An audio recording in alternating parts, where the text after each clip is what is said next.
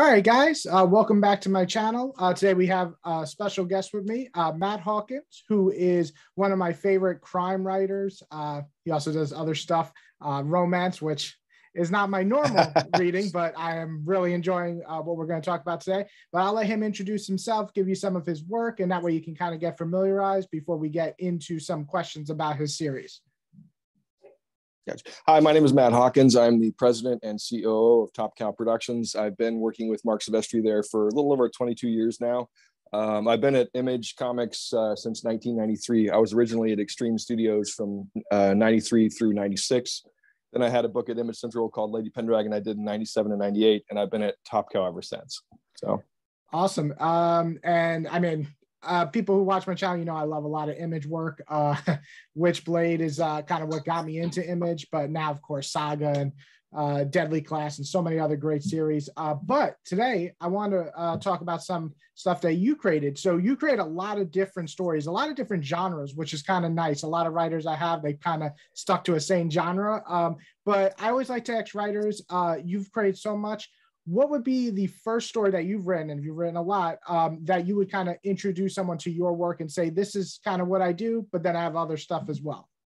You know, it, it would depend on what they like. You know, I always ask people, do you read comics at conventions? Because, you know, 90% of the people that walk through conventions, they don't. Um, but I ask if they read comics, and if they say yes, I said, "What do you read?" And they'll say science fiction. They'll sell this, they'll sell that, and I'll sort of tailor, you know, what I've done to that. Uh, usually, it's think tank, postal, or swing depending on who it is. Uh, if it's a, a, middle-aged woman who's looking at my Swing and Sunstone books on the table, I, I will. Uh, I say, "Have you heard of these things? Do you like, you know, adult romance?" Um, and then I'll go into my pitch. Um, but it's usually Think Tank. I think Think Tank is probably my most personal book. I mean, it's largely about uh, the life I could have had if I was a little smarter, you know, and had done what my father wanted me to do with my life, you know, rather than being a, losery comic person like I am. Um, but uh, I, am just kidding. I love comics and I, I, love my career and what I do, but uh, this is not what I was supposed to do. I have a physics degree that I don't use for much of anything.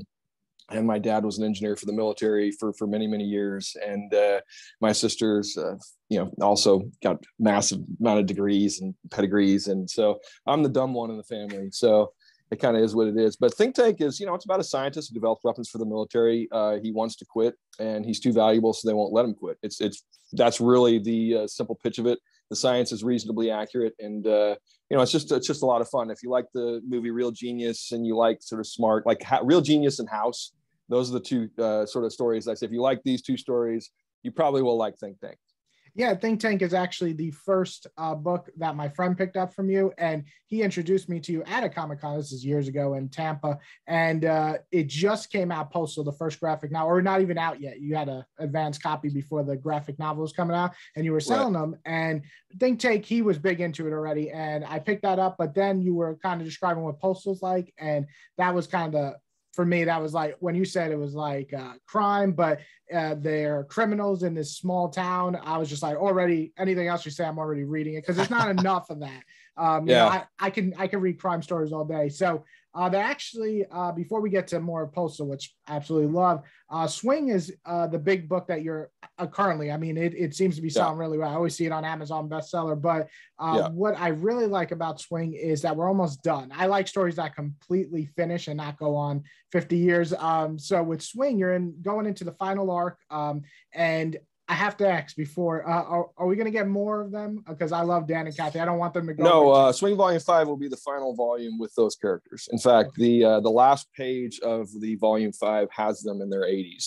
Oh, a nice time skip. I like that. So um, it's uh, you know, I, I, mean that might be a, a bit of a, a reveal, but uh, these things generally end happily ever after. You know, and they they've gone through their travails, but uh, you know they're they're sitting on their porch in their 80s and they're laughing about the shit they used to do when they were kids you know and that and when they're when you're 80 i think you think of yourself as a kid when you're 30 you know yeah. i'm 52 two now so a 30 year old does seem young to me now which is weird because when i was 15 30 seemed old yeah. you know so now that i'm 52 and 30 seems young it's uh it's a whole different world well with swing uh uh, you know, I got into it because of um, Sunstone, uh, and uh, when I saw that that was coming out and Sugar, uh, I was really excited.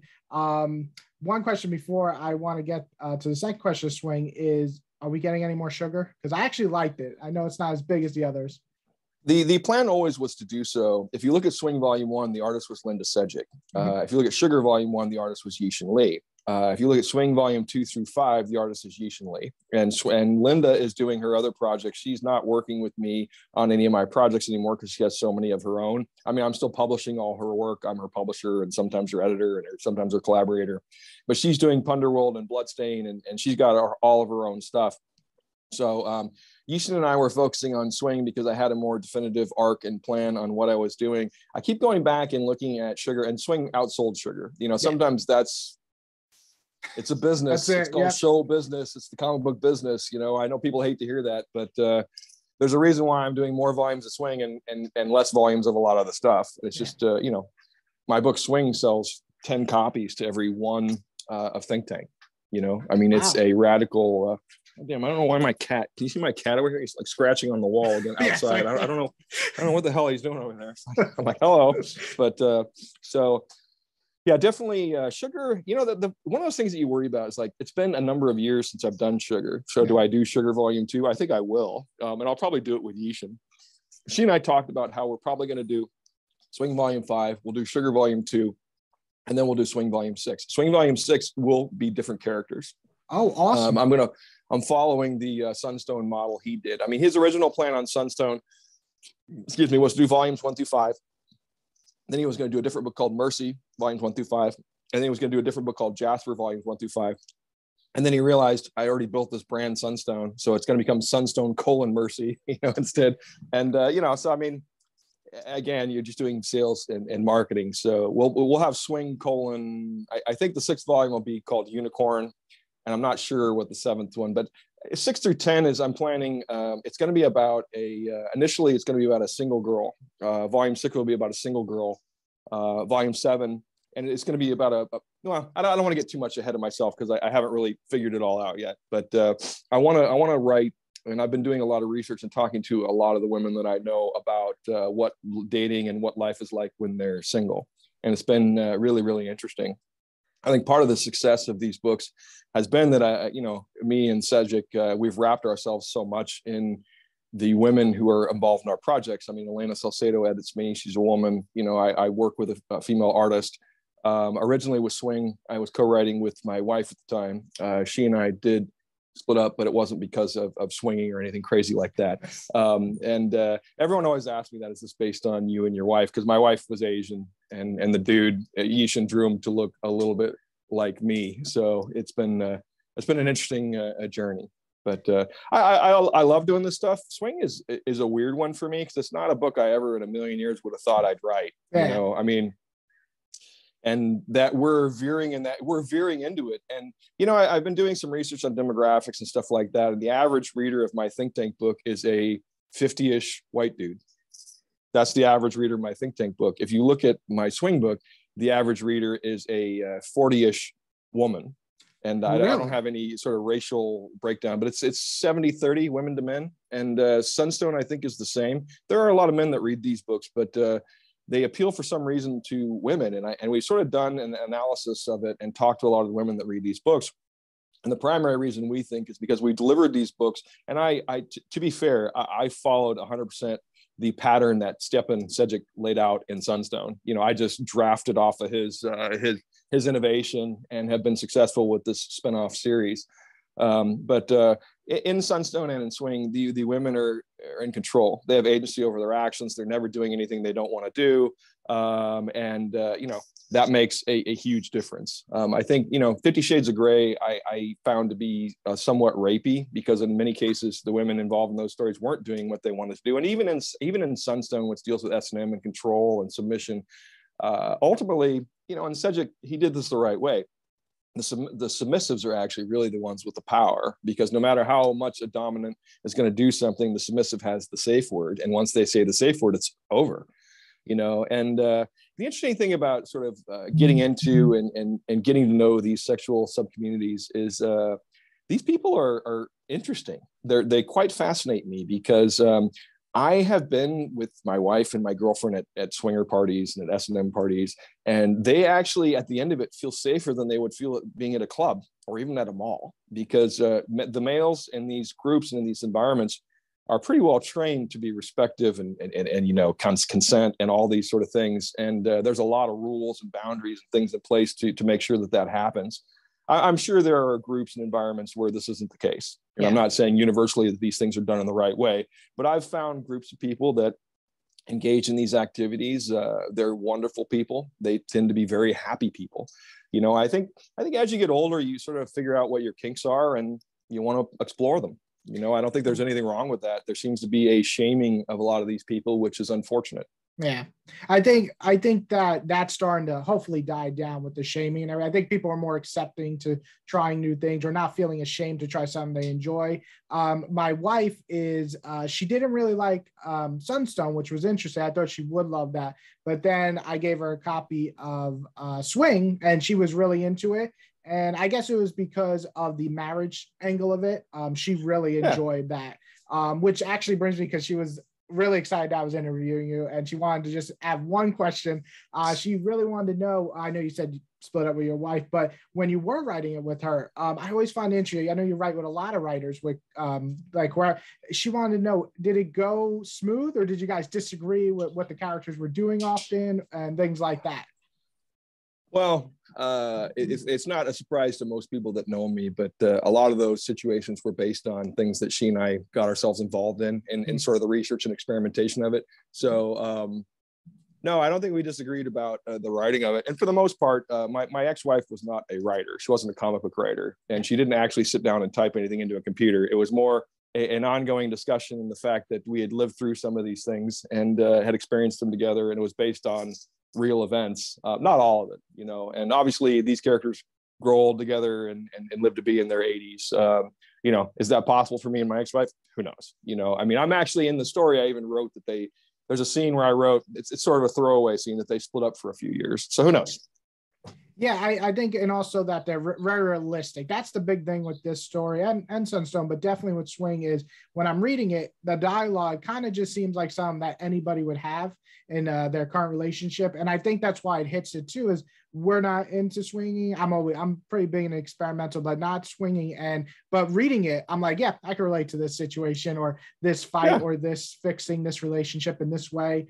Um, and of course, now that I have a two year old with with the kids scenes, I think are funny, or the grandma uh, disconnecting the uh, the video oh. game has happened far too often in my life. Um, well, a lot of these things are based on real events. I mean, yeah. the one nice thing about uh, sort of what we call what do we call it slice of life the reality sort of writing that we're doing on this stuff is there's no superheroes there's no supernatural events there's no disasters there's nothing it's just it's just regular life they're dealing with regular situations and uh, I, I, would say when I'm writing slice of life stuff, and including, I would say Think Tank and Postal, they're also stories that could take place in the real world. I mean, they're extraordinary.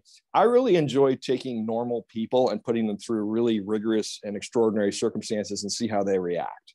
Um, I I really immerse myself in my research and my writing, and uh, I, I, really try to put myself in the head. Like when I wrote the book The Tithe, um, I grew up.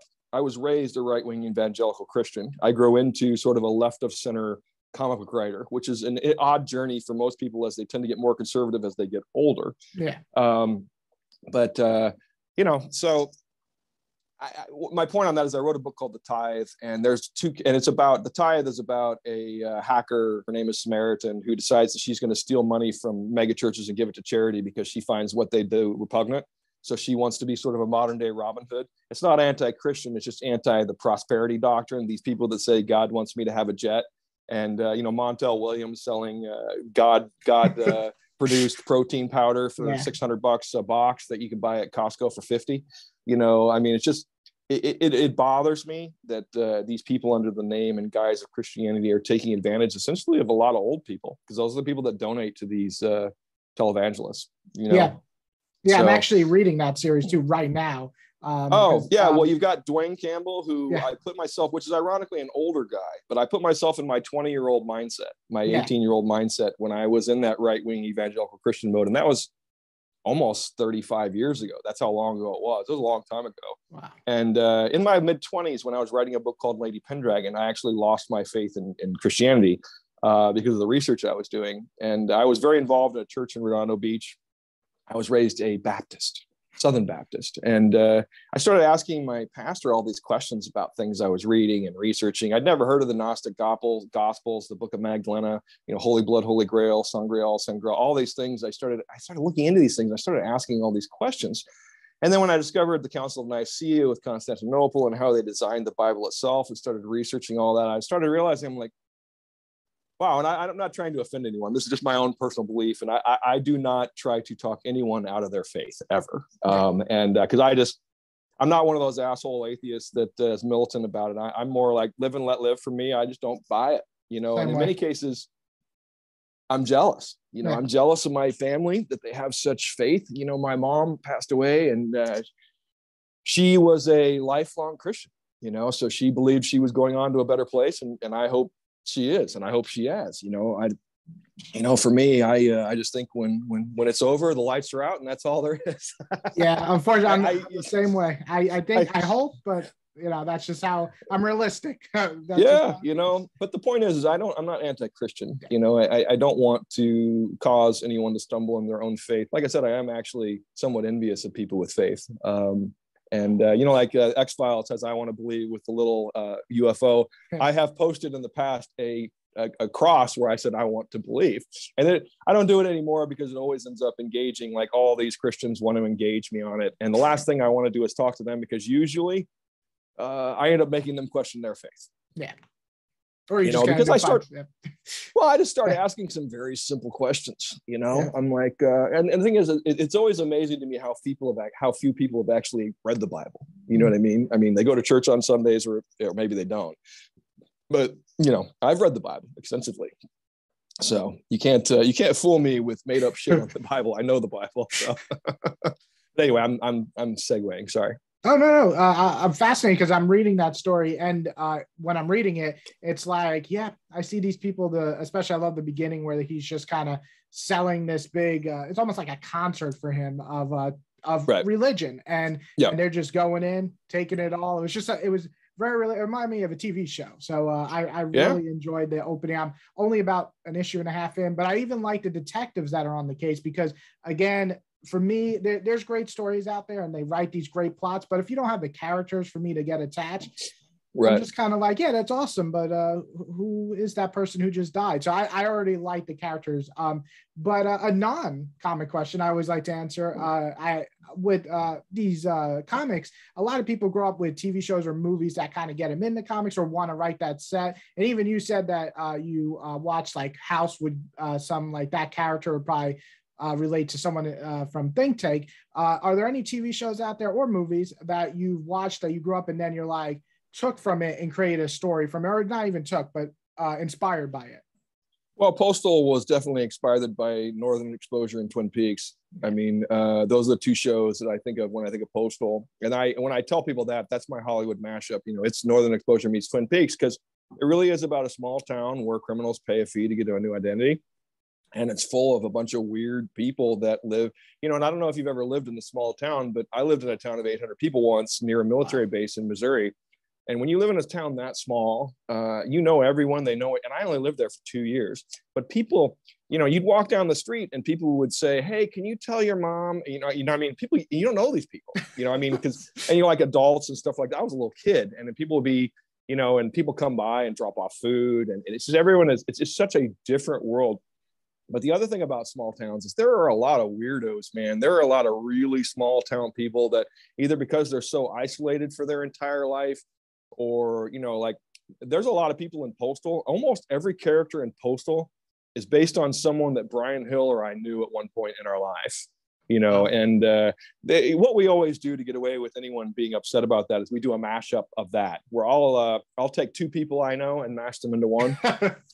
And then when they come to me and say uh, is that based on me? Oh no you don't you don't you don't play golf. And they're like oh yeah you're right okay.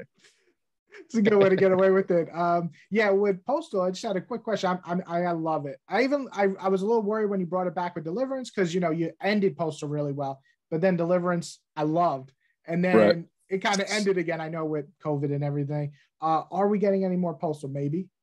I hope so. Uh, okay. Rahsan Ekedal and I are doing a new think tank book. Oh, um, oh, awesome!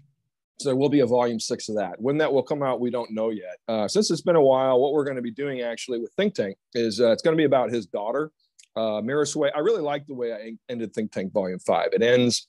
You have this guy who's never really known family in his life, and he's lived this sort of weird, you know, intelligent. He's got a high IQ but a low EQ, and uh, he has a family finally. I mean, that was the whole point of that last scene in Think Tank Volume Five. Is he's got this family. It's it's a weird eclectic family, but he's got a family and uh, we all need a community and a family like that. Um, and uh, so, volume six is actually about his daughter, and uh, it's interesting. I, am not a fan of the current political climate on either side of the fence. You know, I, am not a huge fan of, of cancel culture. Uh, sometimes I think it's deserved, but I'm also not a fan of some of these right wing nut jobs that are out there saying what they're yeah. saying. I'm definitely a little left of center, but I'm I'm more moderate. You know, I mean, it's uh it's interesting how everyone is so knee-jerk reactionary to everything now. Everyone's offended by everything. You know, when I was in philosophy class in college, one of the few non-science classes I took, uh, they they taught the harm principle and the offense principle. And I remember this was 1988 to 92, whenever it was.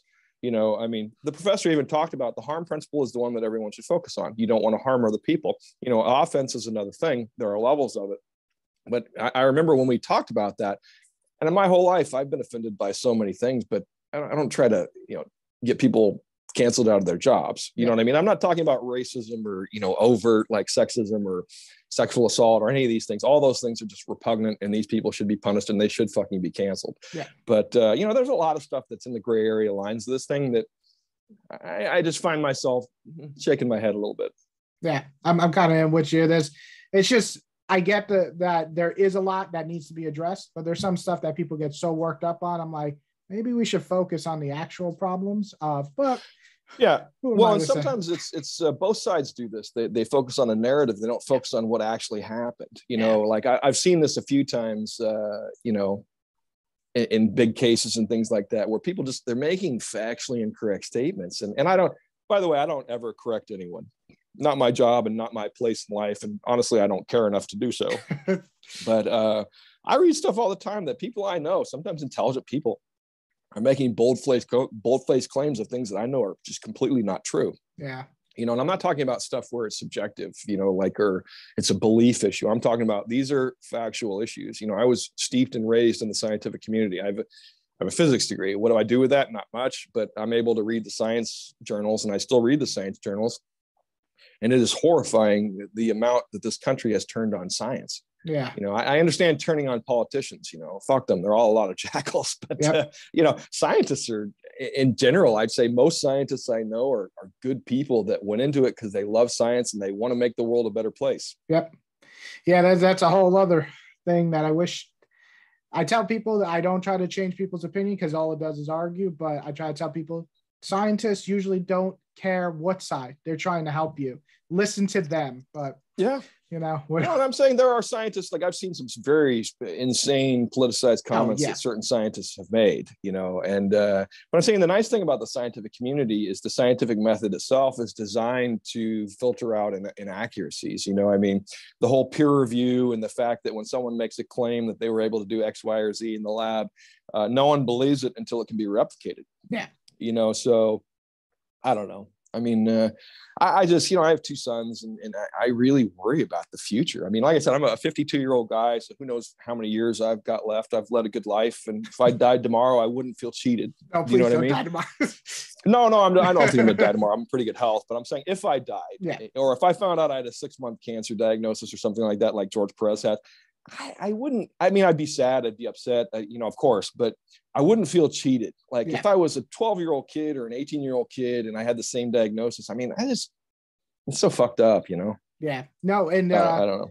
I, I, agree. It's yeah. That's news about George Perez was a, a, killer because I think you know everybody lives their own life, but when you hear it suddenly and and that's it, uh, it, you know, it hits you hard. Um, I did have actually a question that relates to some of the uh, political stuff going on with, sure. With, uh, clock. I actually really enjoyed it. I felt like it was like kind of not swept under the rug, but it wasn't talked about a lot, which is weird because it was oddly relating to what was happening with people getting sick. Uh, of course, in yeah. clock they get cancer, which is pretty much a death sentence. But it was happening. Um, was that coming out? I, I got the trade, but was that coming out while COVID was happening? The issues. Um, yeah, the first two issues came out. Uh, I think it was December and January, like yeah, right during when, when and February was the shutdown, right? Yeah. I mean, because when the shutdown happened, the third issue was supposed to come out the very next week, oh. and uh, it got canceled because Diamond shut down for months. And uh, so what happened? I think we didn't publish or ship any books for almost five months. I think it was.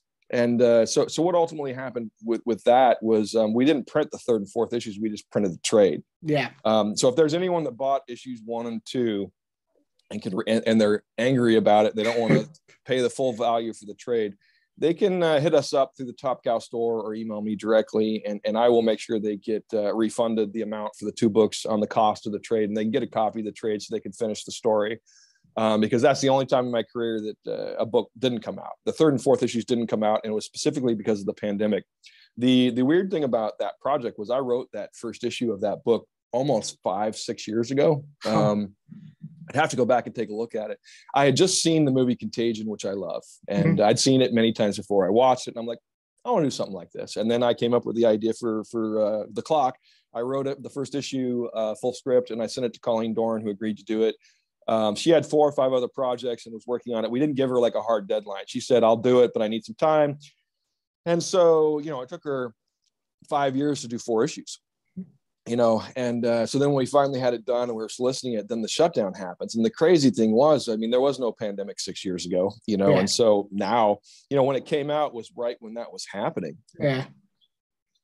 Such weird timing right? I yeah mean, it when i picked it up i was like it, you know because of course most of these projects are written uh, months or years before so i knew it wasn't but it was just like odd timing and i was like ah, man i hope this doesn't completely kill it. And it probably didn't. It was probably more of the shipping issues that killed a lot of series. It looked like in comics, uh, unfortunately, because there were some others I read where I only got two issues in and then nothing came after that. But um, but yeah, I really enjoyed the clock. Uh, but what I like, uh, what I want to ask is that you know, with you being with Top Cow so long. Uh, I always want to know, like, was there ever someone who came to you with a project or anything, and it was a pitch, and you're just like, wow, this is going to be something big. And you were so excited uh, to print it, and then it actually did become big. Well, um, Sunstone yeah. for sure. You know, there've been a lot of projects like that. Rising Stars, Midnight Nation, uh, Wanted with Mark Millar. Um, you know, uh, Cyberforce when we relaunched it in 2011 turned out to be a huge book for us. And uh, I'm sorry, but my delivery is here. Sure. Can I can I can yeah, I put you on pause for a minute? No I mean, wait, you can you, you, can come with me, but I'm uh, going to be walking, so it's going to be a little weird, and I got to find put up. Ah, fuck, they're delivering to me. I don't need to put a mask on. I have been vaccinated, so awesome. Um, but uh, well, here I can continue talking. Why not? What was the question? I'm sorry. Oh, uh, so with the uh, projects you were saying, like Sunstone, Cyberforce, uh, those were big ones for you. Yeah, yeah. I mean, there, there, there have been so many. I mean, there have been some like Eclipse when it came out from Zack Kaplan. I, I knew that book was going to be good because I just loved the art team and I loved uh, the work he had done on it. Uh, you know, the interesting thing on Kickstarter is both Witchblade and Darkness, we did volume one and volume two. The second volumes actually generated more money than the first. I mean, I, uh, I saw that. Yeah, with the uh, especially with Darkness too. I I missed the chance of getting both one and two hardcover. I'm a big hardcover collector, and I was like, damn, and now I can't even find one. I have two. Uh, I, I can find two, and I want to order it, but I, I can't find one now, which is my own mistake. But uh, yeah, I saw how successful you guys. I think we have a few of those on the Top Cow store. Oh, do you? Okay, I'll just put yeah. them on there because uh, Darkness I've been reading since that's actually one of the comics that got me into comics when I was a kid. Um, but uh, Witchblade, I actually got more into it when um, Ron Marz got on. And yeah. uh, I have the whole series from when he started all the way till the newer one that came out a few years ago. I forgot who wrote it, uh, but uh, she she did a pretty good job too with something new. I haven't seen with Witchblade, but yeah. But the Ron Caitlin Kittredge was her name. Yeah. Caitlin Kittredge did that uh, yeah, I mean, and we are in the process of doing a uh, new Witchblade book. I mean, the Witchblade half that we did, that was uh, a part of the Witchblade uh, Kickstarter. That was actually written by Marguerite Bennett. Um, oh, awesome! And uh, she's writing the series, so we're doing a new Witchblade series that she is writing. Um, we have not announced the artist yet, and it's not the artist that did the half, so I, I don't think I can yet announce who the artist is. But they are working on that book. I believe we're tentatively looking at a quarter three launch next year. Um, that's not confirmed, but um, that's a, approximately. It might be it would be later, not before. So it's either quarter three, quarter four. If we push it into 23, I'll be surprised. But uh, the goal was to launch a Witchblade book in 22, a Darkness book in 23, and then we're going to do Cyberforce and Aphrodite. Um, those are the four sort of uh, hardcore Top Cow series that uh, we wanted to rejuvenate. And uh, Marc is writing Cyberforce. I'll be writing Aphrodite 9. Um, Witchblade is Marguerite Bennett, and uh, Darkness is Marc as well. Oh wow! Well, Darkness is another one where I really liked the one that came out a few years ago. It kind of reminded me of the the video games, which I enjoyed a lot too. Um, so with Darkness, um, I did want to ask. Uh, they used to cross over a lot with Witchblade. Are we ever going to get like a maybe another crossover down the line, or is that was that more like the nineties? Okay, good. Uh, of course, no. Witchblade and Darkness um, always were intended to to inhabit the same space. I mean, awesome. it just works so well. You have a, a female police detective and a male criminal who yes. are attracted to each other, you know, and that uh, that causes all kinds of interesting story ideas and things that that can take place over a long period of time. And just FYI, what we're doing now with Witchblade in the Darkness, I'm not sure if we're doing this with Cyberforce and Aphrodite. I don't think we are, but we might. I mean, is we are doing actually a hard reboot, which we've never done. I mean, uh, Witchblade had had the same continuity from 1995 to two, three years ago when we ended it. And I actually wrote the uh, last pages of Witchblade. A lot of people don't know that, but uh, Ron Marz and I wrote Witchblade 185. He wrote the first half. I wrote the second half. So I oh, actually oh, have the privilege of having written the uh, final words that Sara Pezzini, the original Sara Pezzini, said, which was quite an honor. And the, and the crazy thing about that is that's the first time I ever wrote the character. the last and the first. That's pretty awesome. I didn't know yeah. that. Um, so with that, uh, what was the uh, question I had about? Oh, so I know you said this a few months ago, or maybe a year ago now on Facebook. Uh, with swing selling, you asked people, would you rather have like two big hardcovers of it or just one big one? Uh, are you thinking of releasing either one? Because again, I'm a huge just hardcover collector, so I'd love to have swing in like a either two or a big I, one. I think probably I'll go for the. I, I like the bigger ones. Yeah. You know, for me, it's like having a fifty dollar hardcover or a thirty dollar omnibus of of the entire arc. And if you have four or five volumes, it easily fits into one hardcover omnibus. Yeah. You know, I mean, the reason why Sejic's books uh, ended up being into two hardcovers for the first five volumes is he he did like I think Sunstone Volume Five was two hundred and fifty six pages. Yeah, you know, I mean, yeah, I mean, most of all swings are 128 pages, and they have about 90 pages of story and art in there. Um, so you know, that's just his entire and the 285 he did. I think it was 270 pages of story and art. So for Sunstone Volume Five was essentially the same size as Swing One to Three.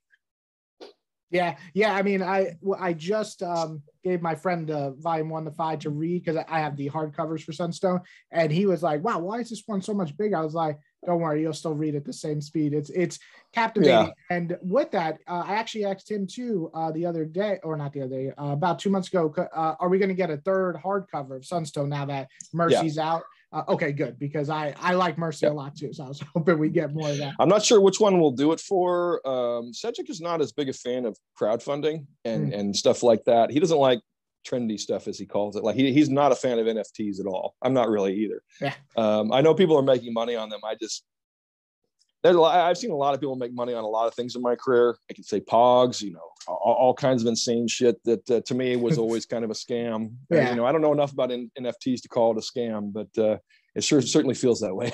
Yeah. No they, i know a little bit about it and my friend's big into it and he kind of I usually right. trust his opinion on stuff like that. Um, but yeah, it doesn't sound too great. But I'm glad that he is he is making more. Um, so really, my last question comes to uh, I know you just announced about like seven projects, but are there any other projects, maybe ones coming even sooner, that you want to promote and talk about so people can? Uh, I know the Kickstarter just finished, right, for the Darkness too. I still got five more days. So oh, sweet. Uh, no, Cyberforce is up for the 30th anniversary Cyberforce hardcover collection, which um, the art for that will actually i think look better than the original because we actually had to recreate all the pages. I mean almost oh. all that art was lost. All the digital files were lost. So we spent painstakingly over the last several years recreating a lot of that stuff slowly. And uh, it actually in my opinion looks better than some of the original stuff because awesome. uh, you know computers are better these days et cetera et cetera. But uh, i'm doing a book called colossus it's, it's uh, the Clay People colon Colossus, so I won't get sued by Marvel. But uh,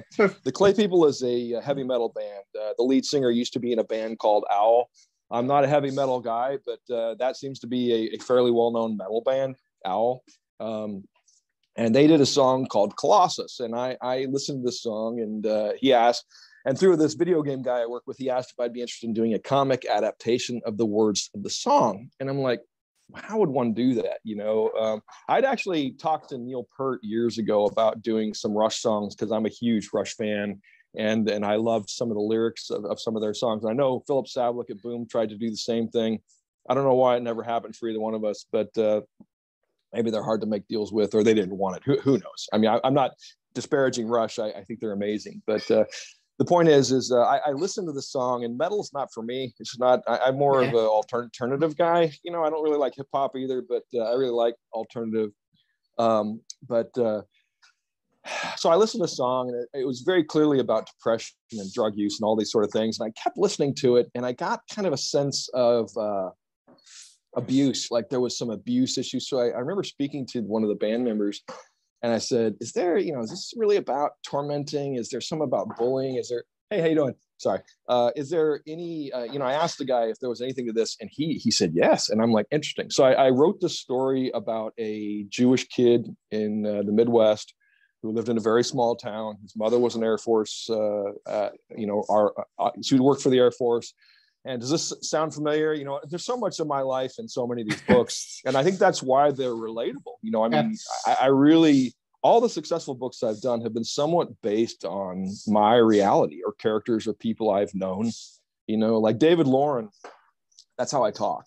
Yeah. You know, I don't talk as misogynistically as I once did, but that is how I talked when I was younger. Yeah. And I realized that now, like you know there's certain things you just can't you can't say in ways you can't talk like that we did when we were kids.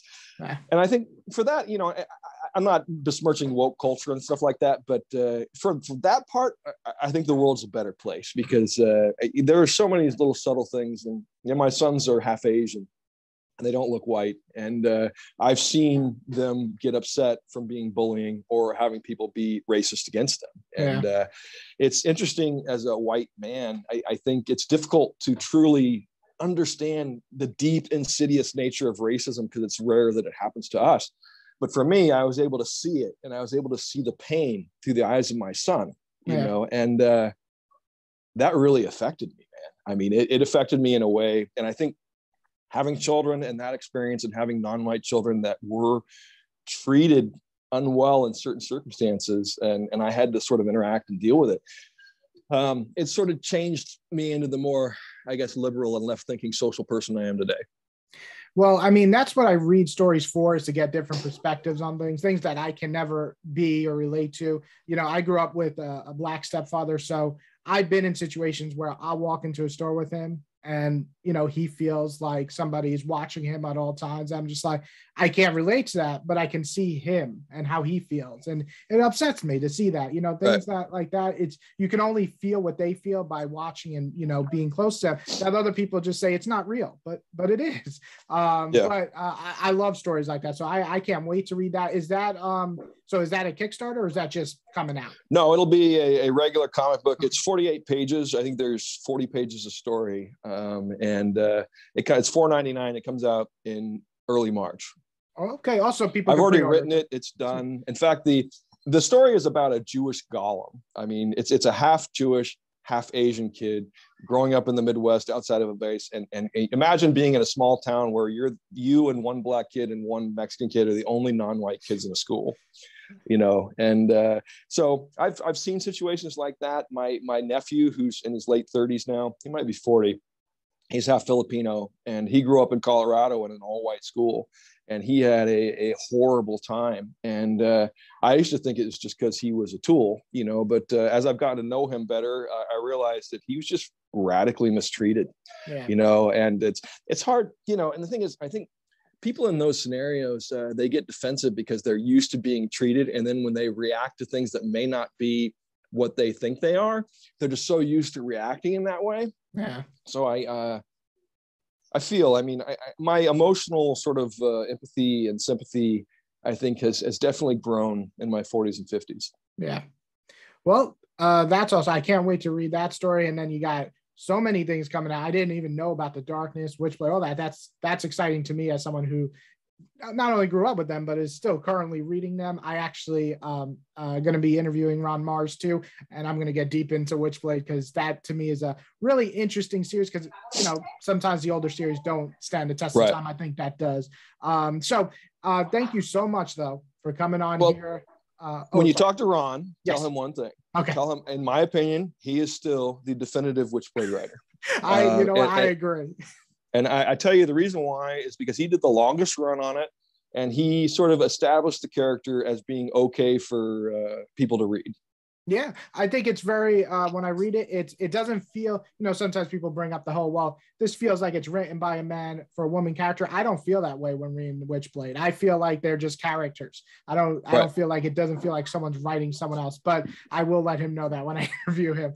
Uh, but thank you so much for coming on, uh, guys. There's so many things to check out. Uh, obviously, been in the business since 1993. You said. Uh, April of 93 is when I started. there you go. So you go all the way back then, pick up some of his work. I've read about, I'd say half of your stuff now. Um, and but swing, people, trust me, please read it. It's not what you think it is when you hear someone talk about. It. Go read it. It's so good. Um, and it went, ended up on my second favorite adult comic currently being published. So check it out. And uh, thank you again so much for coming on the show. And if people want to read some of my stuff for free just to check it out, you can go to topcow.com, look at the menu. There's a section that says free comics. I believe there are eight of my volume one graphic novels there Think Tank, Postal, uh, Swing. You can read the first volumes, not not like the first issue, but the entire first volume. Wow. Uh, for, for free. They're all there as digital downloads. Uh, I always call that the comic book drug deal. First one's free.